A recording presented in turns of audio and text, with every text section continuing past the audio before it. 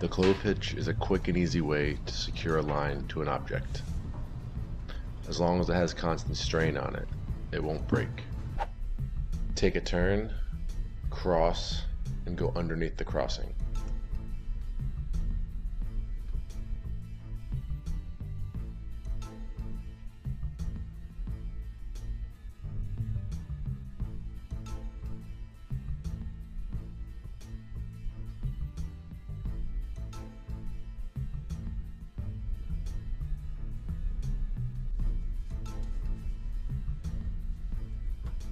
To add a nice easy slip, just tuck a little bite of rope underneath the crossing.